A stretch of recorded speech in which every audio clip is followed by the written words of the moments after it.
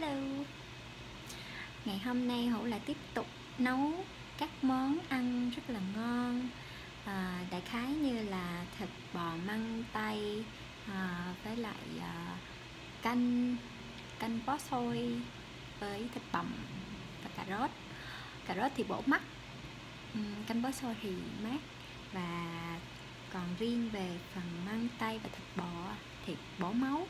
Nên là ngày hôm nay hữu sẽ không ăn cơm. À, hữu chỉ ăn như vậy thôi. Cho các bạn cùng xem nha. Uhm, tinh đây là hai món mà hữu sẽ ăn đây. Hữu chỉ ăn như vậy thôi. Không ăn thêm nữa. Bạn thấy hấp dẫn không? Mỗi một ngày hữu đều nấu hết. Và hữu mong rằng là mỗi một ngày hữu nấu món gì thì các bạn cũng sẽ theo dõi nha. Cảm ơn các bạn.